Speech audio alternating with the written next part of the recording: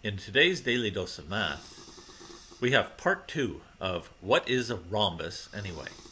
A series of videos about the rhombus. In this video, we're answering the question, is a rhombus also a parallelogram? And is a parallelogram also a rhombus? To answer this question, we need to look at the definitions of each of these shapes.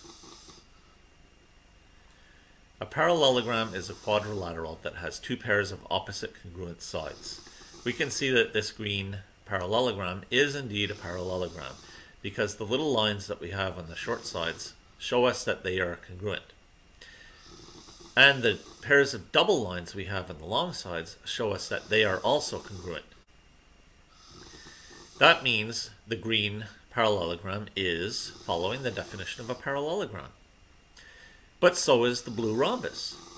We can see by the little lines that all four sides of the rhombus are congruent. Therefore, it can be said to have two pairs of opposite congruent sides. That means all rhombuses are also parallelograms. The definition of a rhombus is a quadrilateral that has four congruent sides. Yes, our blue rhombus is following that rule, but this green parallelogram is not. The answer to the question, is a parallelogram a rhombus, is not necessarily. Most parallelograms are not rhombuses because they do not have four congruent sides. But since all rhombuses are parallelograms, that means some parallelograms are also rhombuses.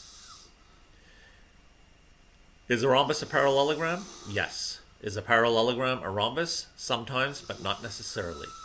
This is part two of What is a Rhombus Anyway? Today's Daily Dose of Math. Please like, subscribe, and share.